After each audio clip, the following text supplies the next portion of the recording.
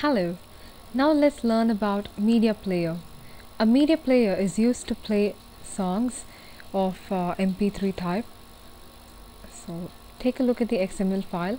I've used two buttons, uh, play button and stop button. Play button with the ID button 1 and stop button with the ID button 2. For media player, create a folder in your resources folder called as raw and place the um, mp3 uh, file inside the raw folder. So for creating that right click on your resources folder new folder choose the folder name type raw and click on finish.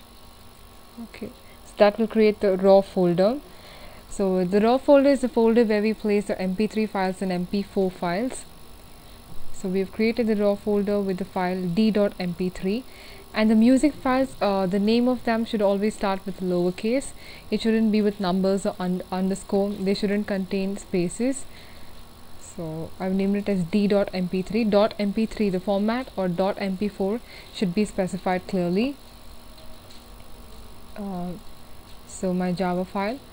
I've declared the media player media player mp mp is the name of my media player and the two buttons b1 and b2 inside the onCreate method I've created uh, mp equal to mp dot create this comma r dot raw dot id we have given uh, r dot id dot button 2 and button 1 for the buttons. So for the media player we use the method r dot raw dot the name d the name of the uh, file which is d. So mp the media player equal to mp dot create this or you can give it as get application context or main activity dot this comma r dot raw dot d. Okay and then I've set the listeners for the button. So the for the play button b1 dot set on click listener new space control space on click listener mp dot start. This will start the media player this will play the song mp dot start as the method and i'm giving a toast message. Toast dot make text get application context playing. This has to display the text playing uh, in the given duration toast dot length long show.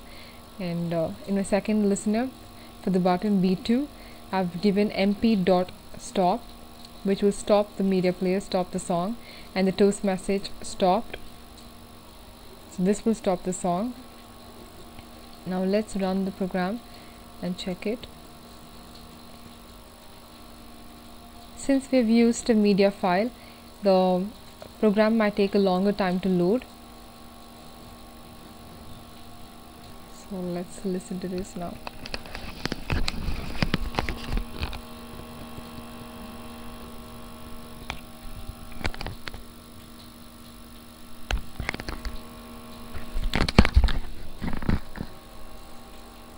let me run the file again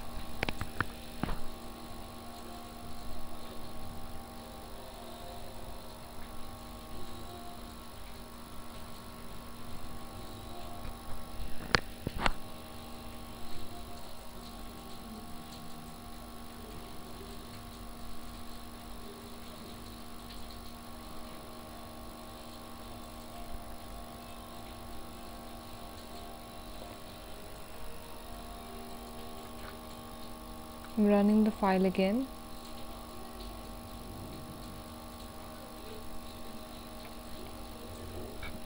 So this is playing my song.